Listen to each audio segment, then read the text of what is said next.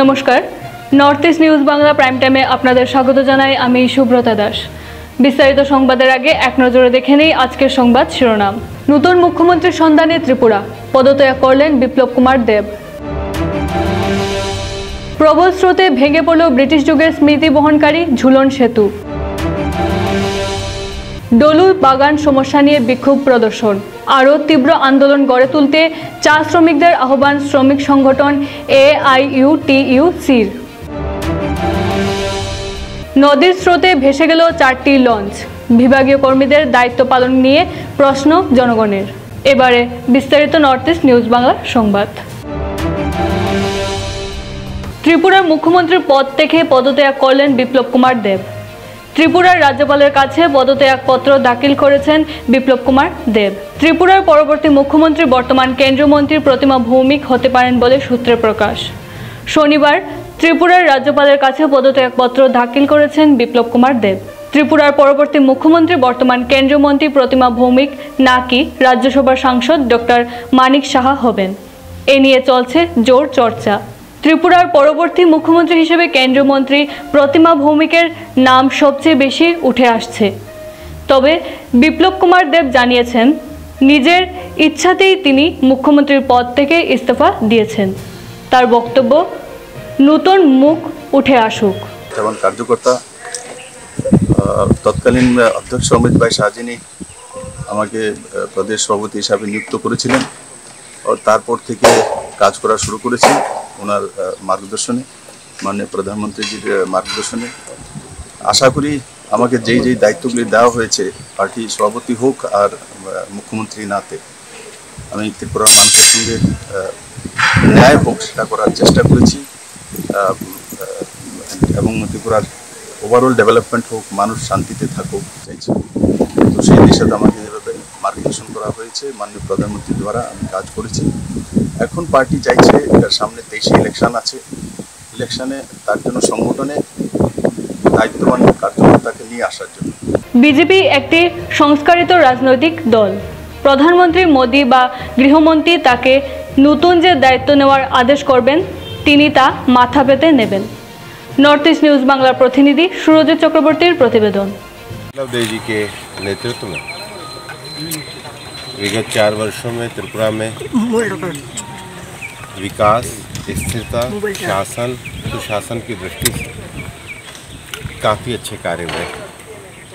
विप्लव देव जी का सरकार आने से पहले भी संगठन में और सरकार आने के बाद मुख्यमंत्री के रूप में शासन में एक बहुत प्रभावी योगदान रहा है। भारतीय जनता पार्टी श्री विप्लव देव जी की पार्टी की संगठनात्मक गतिविधियों में भूमिका बढ़ाने के लिए उनके पार्टी संगठन की गतिविधियों में उनकी सेवाओं का उपयोग करने के लिए आगे उनके मार्ग को प्रशस्त करेगी और इस কিছুদিন ধরে বরাকের বাগান শ্রমিকদের কিছু না কিছু সমস্যা লেগেই আছে তা গ্রিনফিল্ড বিমানবন্দর নির্মাণ নিয়ে ডলু চা বাগান হোক বা অন্য কোনো বাগানের পরিস্থিতি হোক এবার প্রকৃতিও শ্রমিকদের কষ্ট দিচ্ছে। গুমরা নদীর প্রবল স্রোতে শনিবার সকালে ভেঙে পড়ল কালাইনছোড়া চা বাগানের সাথে সংযোগ রক্ষাকারী ঝুলন সেতু। দিন কয়েকের টানা বর্ষণে গুমরা নদীর জলের স্রোতে কালাইনছড়ায় দুপার ভেঙে যায়। এর ফলে শনিবার সকালে হঠাৎ করে ব্রিটিশ যুগের স্মৃতি বহনকারী ঝুলন সেতুটি ভেঙে পড়ে। এতে কালাইনছোড়া চা বাগানের উভয় পাশের জনগণ যোগাযোগ বিচ্ছিন্ন হয়ে পড়েন। সেতু ভেঙে পড়াতে চা বাগান শ্রমিকদের বিভিন্ন সমস্যার সম্মুখীন হতে হচ্ছে। নর্থ ইস্ট নিউজ বাংলার প্রতিনিধি অজিত দাসের প্রতিবেদন। কাছাড় জেলার ডলু, ময়নাগর, লালবাগ চা বাগানের শ্রমিকদের মতামতকে সম্পূর্ণ উপেক্ষা করে কাছাড় জেলা প্রশাসন সংশ্লিষ্ট এলাকায় একশো ধারা জারি করে।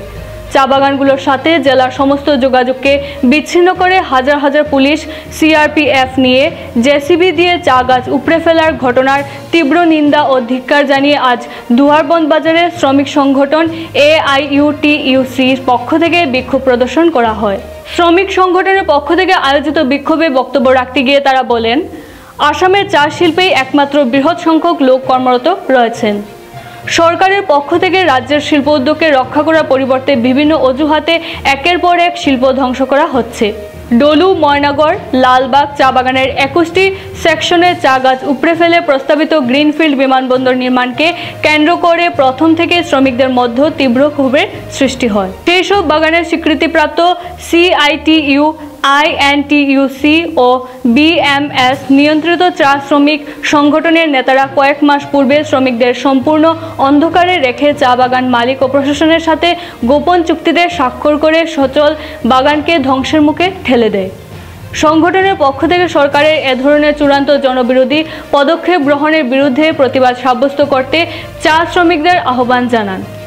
আজকের বিক্ষোভে উপস্থিত ছিলেন দিলীপ রি লক্ষ্মীচরণ আকুরা দিলীপ কালোয়ার, দেবু ঘাটোয়ার প্রমুখ। নর্থ ইস্ট নিউজ বাংলা প্রতিনিধি অমল ঋষির প্রতিবেদন। আপনারা হয়তো নিশ্চয়ই অবগত আছেন, গত বারো মে ময়নাগড়, লালবাগ ধনু চা বাগানে যে গ্রিন হিলস বিমানবন্দর নির্মাণ হতে যাচ্ছে, আমরা সেই বিমানবন্দর হওয়ার জন্য সমাজের প্রয়োজন, কিন্তু প্রশ্ন হলো, যে জায়গায় বিমানবন্দরটি বানানো হচ্ছে, সেই জায়গায় বর্তমান ময়নাগড় হলু লালবাগ, চা শ্রমিক, চা শ্রমিকরা সেই বাগানে কাজ করে যেতেন। কিন্তু এখন প্রশ্ন হলো, সরকার যদি চায় সেখানে বিমানবন্দর করবে, এটা ঠিক, কিন্তু চা শ্রমিকদের বিমানবন্দর বানানোর আগেই পুনর্বাসন দিয়ে সরকারকে উচিত ছিল সেই ময়নাগড় ডলু চা বাগানে উচ্ছেদ চালানো। বন্ধুগণ, এটা আমাদের সুপ্রিম কোর্টে আইনে আছে। যদি উচ্ছেদ করতে হয়, যদি সেখানে জনবসতি থাকে, তাহলে সেই জনগণের উপযুক্ত ক্ষতিপূরণ দিয়েই তাকে উচ্ছেদ করতে হয়। কিন্তু আমরা দেখলাম, এখানে কোনো ক্ষতিপূরণ তো দূরের কথা, শ্রমিকদের সাথে কোনো আলাপ আলোচনা না করেই এই বিমানবন্দর উচ্ছেদ কাজ চালানো হচ্ছে। তাই বন্ধুগণ, আমরা প্রতিবাদ জানাচ্ছি আজ এবং শুভ বুদ্ধি সম্পন্ন মানুষের কাছে আমরা আবেদন জানাচ্ছি যাতে এই অন্যায় কোনোভাবেই মেনে নেওয়া না যায়। এখন নিচ্ছে বিজ্ঞাপন বিরতি, ফিরছি অতি দ্রুত কিছু গুরুত্বপূর্ণ সংবাদ নিয়ে। আপনি কি আপনার ঘর কিংবা প্রতিষ্ঠানকে সুন্দর করে গড়ে তুলতে চাইছেন? আর সাথে চাইছেন ভালো ও সুলভ মূল্যে প্রয়োজনীয় সামগ্রী ক্রয় করতে? তাহলে দ্বিতীয়বার না ভেবে আজই চলে আসুন শিলচরের দাসকরণীতে অবস্থিত ঋতুরাজ ট্রেডিং কোম্পানি অথবা সোনাই রোডের খালেদ ভবনের বিপরীতে বাইক সেন্টারের ঠিক পাশে সমীক্ষা ট্রেডিং কোম্পানিতে। এই উভয় স্থানে tiles, sanitary items, chimney, water purifier, CPVC, UPVC PVC items door wooden PVC Sintex সহ অনেক বিখ্যাত ব্র্যান্ডের সামগ্রী সুলভ মূল্যে পাওয়া যায়। আপনারা আসুন, যাচাই করুন ও ঘরকে সুন্দর করে গড়ে তুলুন। বিশদ বিবরণের জন্য eight six three eight seven one six two two nine এবং six three seven seven nine nine zero two six nine নম্বরে যোগাযোগ করুন।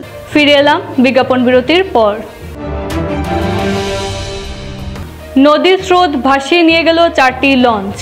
কাছাড়ের সোনাবাড়ি ঘাটের লেসির চারটি লঞ্চ ভেসে যায়। এর মধ্যে একটি বড় লঞ্চ ছিল। অত্যাধিক বৃষ্টির জন্য নদীর জল বাড়ছে। বাড়ছে বরাকের জল স্ফীতি নদীর স্রোতে ভেসে আসছে ঝোপঝাড়, মরা গাছ ইত্যাদি।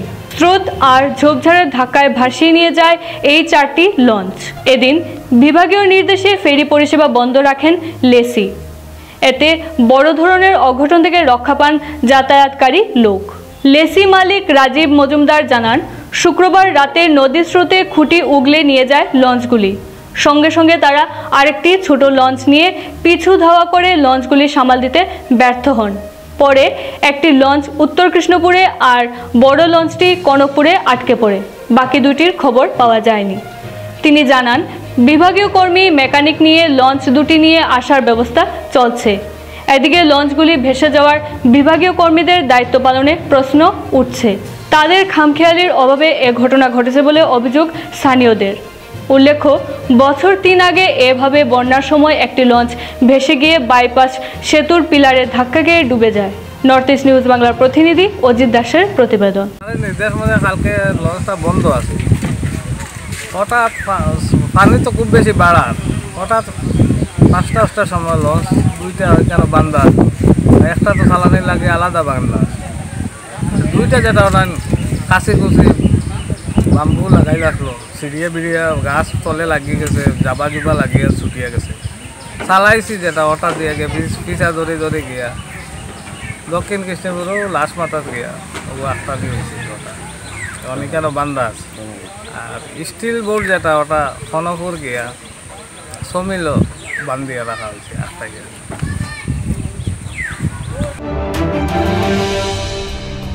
অত্যাধিক মূল্যবৃদ্ধি নিয়ন্ত্রণ করার দাবিতে রায়জোর দলঞ্চর হাইলাকান্দি জেলা সমিতির প্রতিবাদী গণসত্যাগ্রহ আন্দোলনে উত্তাল হল হাইলাকান্দি শহর। এই উপলক্ষে শহরের পুরানো হাসপাতাল চৌমাথা থেকে মিছিল বের করেন রায়জোর দলঞ্চর নেতাকর্মীরা।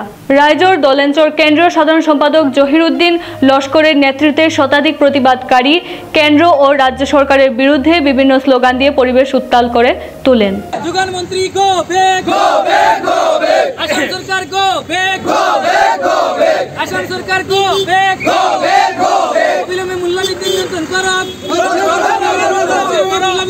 করতে হবে।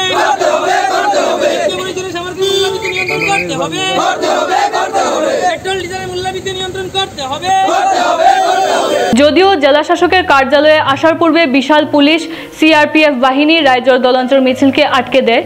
তারা বলেন কোভিড তথা লকডাউনে ভেঙে পড়া অসমের অর্থনীতি এখনও স্বাভাবিক অবস্থায় ফিরে আসেনি।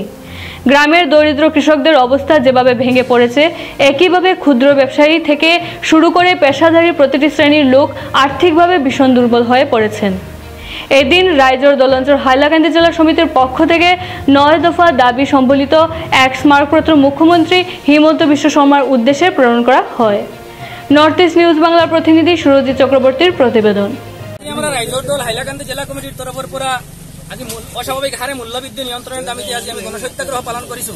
আপোনালোকে দেখিছে গোটেই অসমত সকলো বস্তুৰ মূল্যবৃদ্ধি হৈ আছে। ডাল চাল তেল ডিজেল পেট্ৰল ঔষধ সকলো বস্তুৰ মূল্যবৃদ্ধি হৈ আছে। কিন্তু অসম চৰকাৰে কোনো পদক্ষেপ লোৱা নাই। আজি এক বছৰ পূৰ্ণ হৈছে এই চৰকাৰৰ কিন্তু আমাৰ দুখীয়াৰ কি অৱস্থা হৈ আছে মধ্যবৰ্তীৰ কি অৱস্থা হৈ আছে? আজি শ্ৰমিক কৃষক সকলোবিলাকে আত্মহত্যা কৰি আছে। আজি অসমৰ আমি কোকৰাঝাৰৰ এজন ছোৱালীয়ে তেখেতৰ তেখেতৰ সন্তানক আজি বজাৰত আনি বিক্ৰী কৰিব লগা হৈছে। কিডনী বিক্ৰী কৰিব লগা হৈছে এনেকুৱা পৰিস্থিতি সৃষ্টি হৈ আছে। আজি আমি ৰাইজৰ দলৰ হাইলাকান্দি জিলা কমিটিৰ তৰফৰ পৰা আসামৰ মাননীয় মুখ্যমন্ত্ৰী মহোদয়ক আহ্বান কৰিছো অতি সোনকালে মূল্যবৃদ্ধি নিয়ন্ত্ৰণ কৰক নহ'লে নৈতিক দায়িত্ব স্বীকাৰ কৰি তেখেতে ইস্তিফা প্ৰদান কৰক। নহ'লে আজি আমি ৰাইজৰ দলৰ সকলো জিলায় অসমৰ সকলো আমি এক লক্ষ গণস্বাক্ষৰ সংগ্ৰহ কৰিছো। এক লক্ষ গণস্বাক্ষৰৰ মাধ্যমে আসামৰ মাননীয় মুখ্যমন্ত্ৰী, মাননীয় ৰাজ্যপাল মহোদয়ক আমি স্মাৰকলিপি প্ৰদান কৰিছো এবং দাবি উত্থাপন কৰিছো। অতি সোনকালে মূল্যবৃদ্ধি নিয়ন্ত্ৰণ কৰিব লাগে। মূল্যবৃদ্ধি নিয়ন্ত্ৰণ নকৰিলে এই চৰকাৰৰ বিৰুদ্ধে আজিৰ পৰা আন্দোলন আৰম্ভ হৈছে। গোটেই অসম জুৰি আন্দোলন চলি থাকিব। নাম সুভাষিনী তন্তবাই বয়স দশ বছর বাড়ি উধারবন্দের পানগ্রাম। প্রায় এক বছর আগে সুভাষিনী খেলতে গিয়ে ওর পা দিয়ে কাজ ঢুকে যায়। কিন্তু পরিবারের আর্থিক দুর্বলতার কারণে ওর চিকিৎসা করা সম্ভব হয়নি পরিবারের পক্ষে। কিছুদিন পরে দেখা যায় ওই কাটা জায়গাটিতে খুব বাজেভাবে ইনফেকশন হয়ে পড়েছে। তার কারণে সুভাষিনীর খেলাধুলা, স্কুলে যাওয়া সব কিছুই বন্ধ হয়ে পড়ে। সুভাষিনীর বাবা ওর চিকিৎসার জন্য অনেকের কাছে সাহায্য প্রার্থনা করেন, কিন্তু কারও কাছ থেকে কোনো ধরনের সাহায্য পাননি তিনি। পরে সুভাষিনীর বাবা হিন্দু রক্ষী দল উদারবন খণ্ডের কর্মকর্তাদের সঙ্গে এই বিষয় নিয়ে আলাপ করলে বিষয়টি শোনা মাত্রই তারা সঙ্গে সঙ্গে সুভাষিনীকে নিয়ে শিলচর মেডিকেলে নিয়ে যান। সেখানে টানা আট দিন চিকিৎসা করার পরে একটি অপারেশন হয়। সুভাষিনীর পায়ের ভেতর থেকে কিছু কাচের টুকরো বের হয়। বর্তমানে সুভাষিনী পুরোভাবে সুস্থ হয়ে ঘরে ফিরেছে। কিছুদিনের ভিতরে সুভাষিনী আগের মতো চলাফেরা করতে পারবে। হিন্দুরক্ষী দলের কর্মকর্তাদের এই শুভ উদ্যোগে গরিব একটি মেয়ে আবার আশার আলো দেখতে পাওয়ায় দলের ভূয়সী প্রশংসা করেছেন অনেক শুভানুদ্দায়ীরা নর্থ ইস্ট নিউজ বাংলার প্রতিনিধি সৌমিত্র নাথের প্রতিবেদন। সুভাষিনী তান্তুবাই নামে পানগ্রাম স্থিত একটি দশ বৎসরের মেয়ে। যে মেয়ে খেলতে গিয়ে এক বছর আগে পায়ের মধ্যে কাজ দিতে গিয়েছিল। তারপর থেকে কিন্তু মেয়েটা ভীষণভাবে বাসায় অসুস্থ। পা নিয়ে নাড়াচড়া করতে পারছিল না। বাবা অত্যন্ত দিন দরিদ্র, দিন মজুর, যে দিন আনে দিন খায়। মেয়ের ট্রিটমেন্টের জন্য এদিক ওদিক ছুটাছুটি করছিল, অনেক নেতার সাহায্য নিয়েছিল। এবং পালাতু তো অনেক মস্তানদের, অনেক যারা সমাজ নিয়ে ব্যস্ত থাকে বলে আমরা সমাজকর্মী। নিজেকে নিজেদের পরিচয় দেয় সমাজকর্মী হিসেবে। ওদের দাঁড়িয়ে দাঁড়িয়ে কিন্তু উনি গিয়েছিলেন। কিন্তু সেই বাবা নিরাশ হয়ে কোনো কিছু উপায় না পেয়ে আমাদেরই একটা হিন্দু রক্ষী দলের ভাইয়ের সাহায্য নিয়ে আমাদের সাথে ডিসকাশন করেছিলেন মেয়ের ট্রিটমেন্ট নিয়ে। আমরা গিয়ে মেয়েকে বাসায় দেখলাম। দেখার পর দেখলাম মেয়েটা তো সাংঘাতিকভাবে অপাইজ হয়ে গেছে। মেয়েটা পায়ের মধ্যে এক বছর থেকে কাছের টুকরো নিয়ে চলাফেরা করছে। চলাফেরা তো করতে পারে না, বাবা মা মেয়েকে নিয়ে চলাফেরা করে। দশ বছরের মেয়ে ভাবুন তারপর আমরা ওনাকে নিয়ে, ওই মেয়েটাকে নিয়ে এবং গার্জিয়ানদেরকে নিয়ে আমরা মেডিকেলে চলে গেলাম। মেডিকেলে গিয়ে মেয়েটাকে অপারেশন করালাম। সেই জায়গায় অপারেশন করে অনেক কাচের টুকরো বেরুলো। আট দিন পর মেয়েটা সুস্থ হয়ে বর্তমানে বাসায় চিকিৎসাধীন রয়েছে ডক্টর বলছেন, দুই থেকে তিন মাসের মধ্যে মেয়েটা সম্পূর্ণ সুস্থ হয়ে যাবে। জননেতা মইনুল হক চৌধুরীর জন্মদিবস পালন করল কালাইন ব্লক কংগ্রেস কমিটি। কালাইনস্থিত ব্লক কংগ্রেস কার্যালয়ে কাঠিগড়ার বিধায়ক খলিল উদ্দিন মজুমদার কালাইন জিপি সভাপতি মৃদুল কান্তি চক্রবর্তী, কংগ্রেস নেতা সন্দীপ দাস, ব্লক কংগ্রেস সহসভাপতি জাকির খান, সম্পাদক শামসুল ইসলাম সহ সম্পাদক আসাদুদ্দিন বরভুইয়া, যুবনেতা মুসলিম উদ্দিন বরভুইয়া, সত্যরঞ্জন রায়, পুষ্পা নমশূদ্র আরও অনেকে নানা কর্মসূচির মাধ্যমে মইনুল হক চৌধুরীর জন্মদিবস পালন করেন। কর্মসূচির শুরুতে একের পর এক সবাই ওনার প্রতিচ্ছবিতে পুষ্পার্ঘ প্রদান করে তার কর্মজীবন নিয়ে প্রাঞ্জল ভাষায় আলোচনা করেন। নর্থ ইস্ট নিউজ বাংলার প্রতিনিধি সৌমেন্দ্র পালের প্রতিবেদন। যে আপনারা প্রত্যেকে জানেন যে বরাকগুলির মধ্যে যে মহিলা মিনিস্টারের অবদান, সেও প্রত্যেক জাতি ধর্ম বলতে পারে না। কলেজ থেকে নিয়ে আজকে পাঁচকাম পেপার মিল জাগেরুট পেপার মিল এবং বিভিন্ন ধরনের যত সরকারি বড় বড় প্রতিষ্ঠান আছে, প্রত্যেক মহিলা মিনিস্টারের অবদান। সেই হিসাবে এখন পর্যন্ত প্রত্যেক মানুষের তান স্মরণ করে এবং আমরাও সবসময় যে মূল্য মিনিস্টার হইয়া যে কাজ করছেন আর এটা আমরা আমরা মনে করি একটা ঐতিহাসিক এই ঐতিহাসিক কেউ বাংলা সম্ভব নয়। সেই হিসাবে যতদিন আমরাও সংগঠন জীবিত আছে, এবং সেই দিন পর্যন্ত আমরা প্রত্যেকে তার জন্মদিন উপলক্ষে আমরা শ্রদ্ধাঞ্জলি জানাইব এবং আমরা বিভিন্ন ইয়াদ করব তার পক্ষে। কারণ আমরা এখন বর্তমানে ভারতবর্ষ এবং আমাদের বরাকলি যেটা ইন্ডাস্ট্রি যেটা ডেভেলপ করা হয়েছে ইন্ডাস্ট্রিয়াল বলছে এবং মেডিকেল কলেজ থেকে সব ধরনের জিনিস ইউনিভার্সিটি আইটিআই বিভিন্ন ধরনের জিনিস, তার থেকে অবদান। সেই হিসাবে আমরা কংগ্রেস সংগঠন থাকি এবং চিরদিন তার দাবি থাকব এবং আমরা এটা চিরদিন ভুলতে পারব। সংবাদ শেষ করার আগে আরেকবার দেখে নেই আজকের সংবাদ শিরোনাম। নতুন মুখ্যমন্ত্রীর সন্ধানে ত্রিপুরা, পদত্যাগ করলেন বিপ্লব কুমার দেব। প্রবল স্রোতে ভেঙে পড়ল ব্রিটিশ যুগের স্মৃতি বহনকারী ঝুলন সেতু। ডলু বাগান সমস্যা নিয়ে বিক্ষোভ প্রদর্শন। আরও তীব্র আন্দোলন গড়ে তুলতে চা শ্রমিকদের আহ্বান শ্রমিক সংগঠন এ নদীর স্রোতে ভেসে গেল চারটি লঞ্চ। বিভাগীয় কর্মীদের দায়িত্ব পালন নিয়ে প্রশ্ন জনগণের। আজকের সংবাদ এ পর্যন্তই। ধন্যবাদ।